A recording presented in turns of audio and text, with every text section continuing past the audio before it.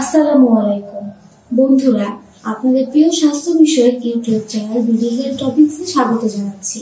প্রতিদিনের মতো আমাদের নিয়মিত আয়োজনে আজ আপনাদের সাথে আছি আমি স্বাধীনতার বোনা বন্ধুরা, আজকে আমাদের আলোচনার বিষয় কিশোরীর বয়সন্ধিকালীন পরিবর্তন কি?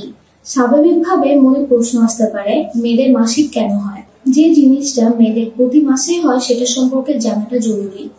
আসলে মাসিক বা ঋতুস্রাব মেয়েদের দেহের একটি স্বাভাবিক প্রক্রিয়া এবং স্বাভাবিকভাবে বেড়ে ওঠার লক্ষণ। পৃথিবীর সকল নারীকেই এই প্রাকৃতিক পদ্ধতির মধ্য দিয়ে যেতে হয়। একজন কিশোরীর জন্য এটি প্রথম সংকেত যা বলে দেয় সে তার বারন্ত বয়সে পা দিয়েছে। তাই মাসিক নিয়ে লজ্জার বা ভয়ের কোনো কিছু নেই। যখন একটি মেয়ে দশ থেকে বারো বছর বয়সে পৌঁছায়, তখন তার শারীরিক পরিবর্তন শুরু হয়। যেমন উচ্চতা বাড়ে মাসিক শুরু হয়, স্তন বড় হয়, কোমর সরু হয়, উরু ও নিতম্ব ভারী হয়, জরায়ু ও ডিম্বাশয় বড় হয়। এই পরিবর্তনগুলোই হচ্ছে মেয়েদের বড় হওয়ার লক্ষণ।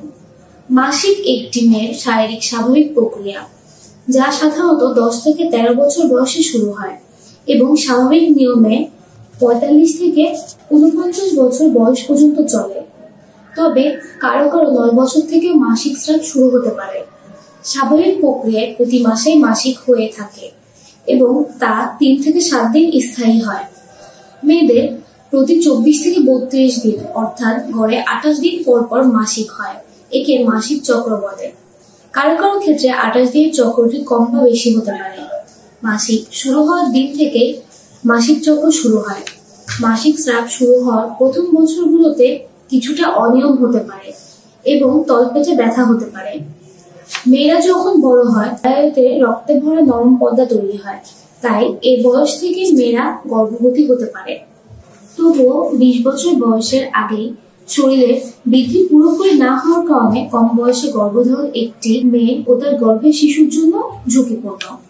মাসিকের প্রথম দিন থেকেই ডিম্বাশয় ডিম্বাণু তৈরি হতে শুরু করে।